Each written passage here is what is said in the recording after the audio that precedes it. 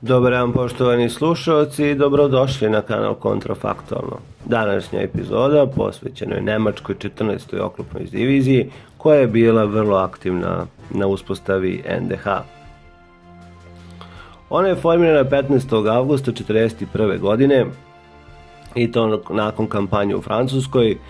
Tu su bili kadrovi uglavnom četvrte pešadijske divizije. 6. aprila 1941. godine Osnovnu udaru snagu divizije činio je 36. oklopni puk ili kako se to zvalo Panzer regiment.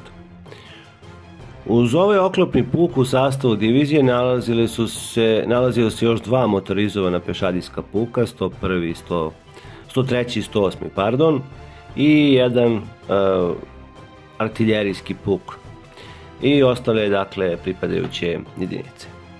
Prema organizaciji koja je dakle bila aktuelna i aktivna za početak 1941. godine.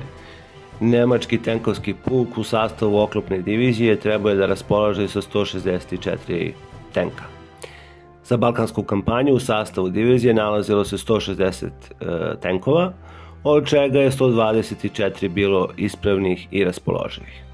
Zapovedniku divizije na raspolaganju je bilo 45 tenkova, dakle to su bili Panzer 2, Panzer 3, uh, dakle da ne ulazimo u pojedinosti, to je više za neke kanale koji se bave vojnom tematikom, to je usko stručnom, a oklopni um, puk u ovom, uh, dakle, u stvari više oklopna brigada u, u ovom svom sastavu koja je činila ovu diviziju imala je četiri uh, čete uh, koje su imale i lake tenkove i srednje tenkove, dakle borna kola i druge dakle transportere guseničare.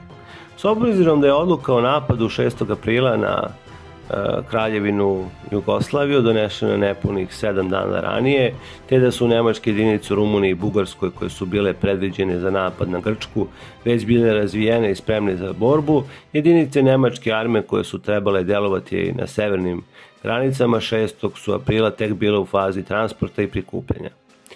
Prema planovima štaba Nemačke druge armije, 14. oklopna divizija trebala je do 9. aprila da se prikupi na prostoru oko mađarskog grada Nać Kaniža ili Velika Kanjiža, te je trebala biti spremna sledećeg dana da pređe preko Mure i Drave i napadne u smeru ka Beogradu.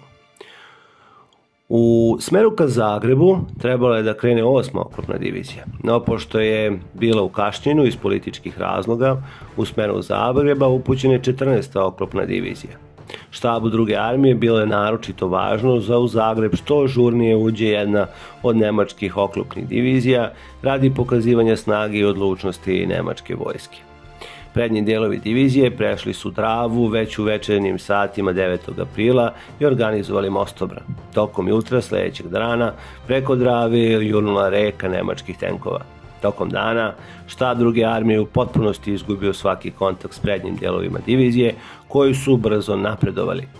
Tek u večernjim časovima avioni grupe za strategijske izviđenja dojavili su da se prednji delovi divizije da su primećeni na prilazima Zagrebu i da ulaze u grad.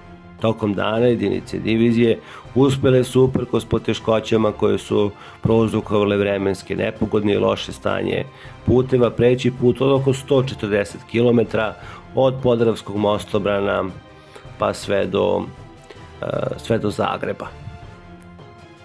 Za sada toliko, nadam se da vam se epizoda dopala, pišite u komentarima i vidimo se uskoro. Prijetno.